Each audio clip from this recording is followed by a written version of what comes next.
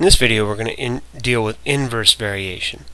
So when we're told y varies inversely with the square, so we do want to pay attention to that there, of x, we can set up a relationship y equals k over x squared.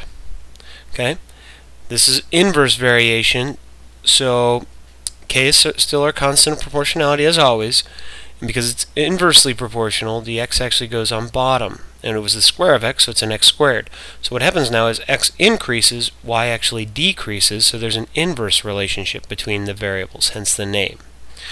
Now we'll use this information to find k, because we know that y equals 10 when x equals 2.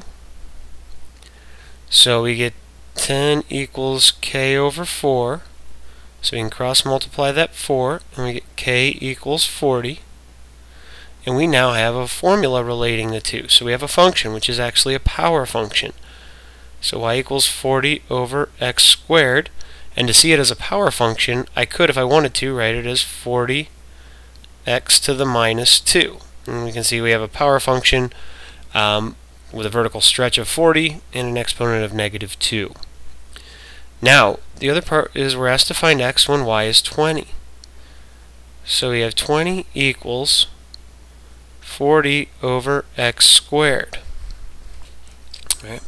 So what I'm going to do is cross multiply the x squared, so I get 20 x squared equals 40. Divide both sides by 20. I get x squared equals 2. And last step is to square root both sides. And I get x equals rad 2 but now we have to be careful because x is being squared, we want to account for both the positive and negative, so we actually have two answers to this one. Which is okay because this is the input of our power function. So it's okay that we have two inputs that have the same output. So it's still a function.